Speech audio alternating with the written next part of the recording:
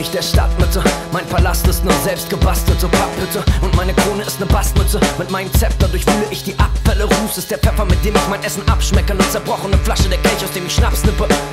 Mein Bart ist ne Matschpfütze. Beißender Geruch, mein Duft, wenn ich Lack schnüffle. Die Höfe meiner Schlösser sind die Rastplätze. Mein Schwert, eine Scherbe, mit der ich dich absteche. Ne Kippenschachtel, meine Schatzkiste. Meine Reichtümer, ein paar Pesos in der Handfläche. Ein paar bunte Murmeln, meine Prachtstücke. Handtaschen, die Stollen, die ich dir abklopfe. Verfolge meine Fußabdrücke.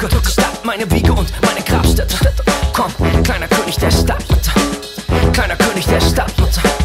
Kleiner König der Stadt. Kleiner König der Stadt. Komm! Kleiner König der Stadt.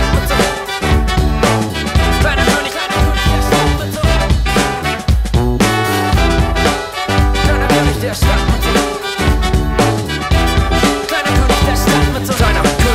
Stadt. Ich bin der König der Stadtmitte. Der Geächtete, der Missachtete. Die Gefolgschaft, auf die ich meine Macht stütze, sind die fetten Kanalratten der Abflüsse.